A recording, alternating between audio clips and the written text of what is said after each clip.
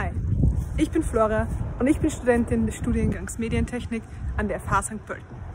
Zusätzlich darf ich seit diesem Jahr auch die Rolle des Student Ambassadors übernehmen.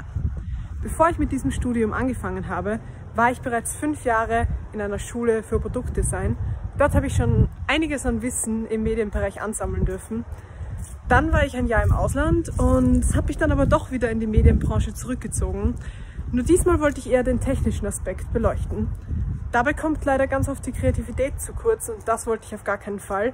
Und die perfekte Kombination aus Technik und Kreativität habe ich im Studiengang Medientechnik finden können.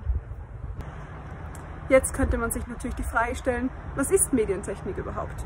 Der Begriff umfasst schon sehr viele Teilbereiche. In diesem Studium geht es hauptsächlich darum, die wichtigsten technischen Aspekte zu lernen, die man braucht, um mit den heutigen Medien richtig umgehen zu können. Dabei kann man sich vorstellen, dass das Studium sehr, sehr breit gefächert ist, aber das heißt auch, dass auf jeden Fall für jeden was dabei ist. Das geht von IT über Webseitenprogrammierung bis hin zur Musikproduktion und zur Kameratechnik. Das Coole ist, dass man sich ab dem dritten Semester spezifizieren kann und dann wirklich seine eigenen Interessen verfolgen kann. Und das macht auf Dauer natürlich richtig viel Spaß.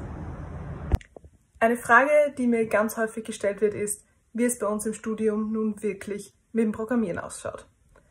Viele schrecken vor diesem Thema zurück, weil es komplex und neuartig wirkt.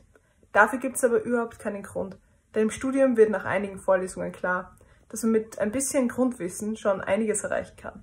Manche finden dann die große Leidenschaft fürs Programmieren, andere wiederum geben sich mit den Basics zufrieden, die man im Alltag eines Medientechnikers übrigens sehr, sehr gut gebrauchen kann.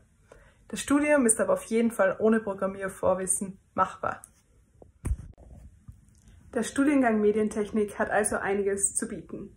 Wenn du noch irgendwelche Fragen zum Studiengang hast, kannst du mir jederzeit gerne schreiben. Oder du schaust einfach auf der FH St. Pölten Webseite vorbei. Und wenn dich das Studium auch so überzeugt hat, wie es mich überzeugt hat, dann freue ich mich darauf, dich bald auf der FH begrüßen zu dürfen. Und bis dorthin, ciao, ciao!